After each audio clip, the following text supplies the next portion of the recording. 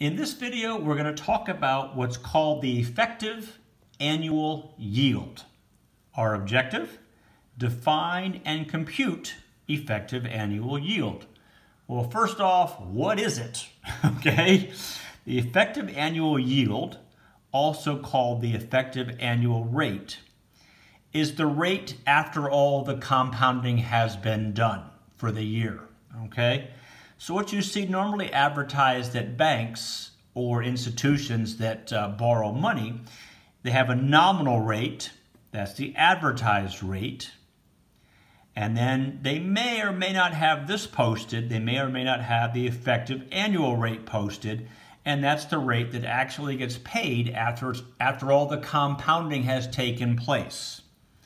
Okay, so they say, we, uh, our rate is 7%, we compound monthly. Okay, well, after a year, what's the actual rate that you paid? Okay, what is the actual rate that you were you paid me? It is used to compare investments with different rates and different compounding periods. In other words, this bank compounds quarterly, this other bank compounds monthly, their rates are slightly different, which is better? Okay, because they're compounding differently, they may have slightly different rates, which is better. Okay, as usual, we're going to just make use of the formula. And here is the formula for the effective annual yield. The effective annual yield, or the rate, which will come out as a decimal, is a fairly simple formula. It's the sum of 1 plus the rate as a decimal divided by the number of times compounded per year that sum raised to the number of times compounded per year, and then subtract 1 from this whole calculation here.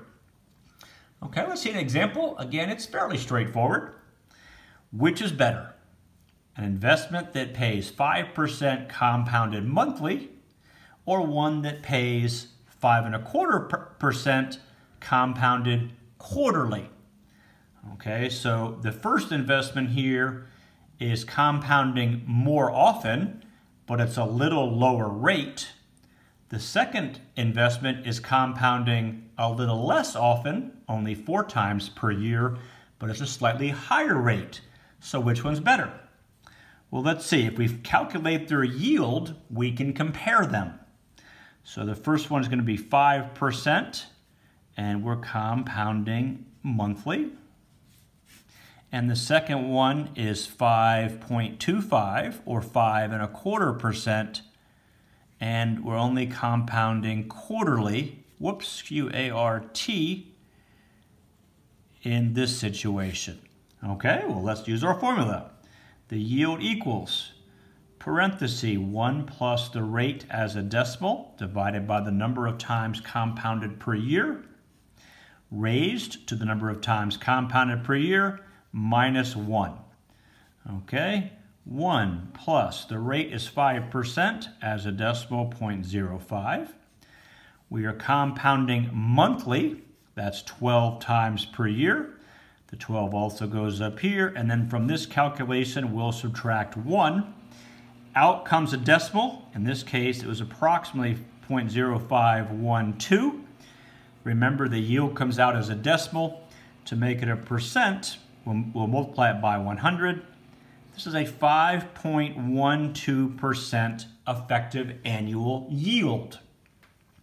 So they advertised the nominal rate as 5%, but when all was said and done after the year, because they compounded monthly, you actually got paid a 5.12% interest rate.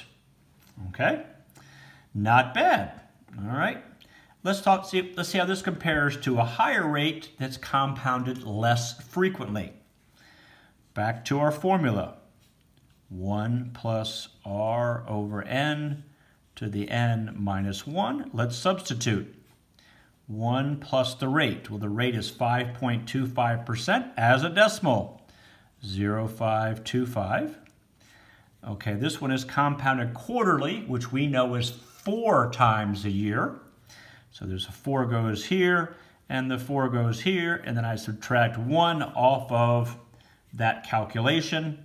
And this one comes out to be approximately 0.535.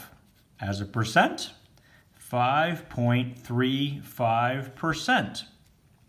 So again, the nominal rate, the advertised rate for this second investment was five and a quarter. But when we paid out all the, we compounded quarterly and we added it all up, we actually came out with a 5.35% rate as its effective annual yield. And our question was, which is better? Well, obviously, paying you a rate to 5.3% is better than paying you a rate to 5.12%. So this is the better choice. So there you have it, a little bit about effective annual yield.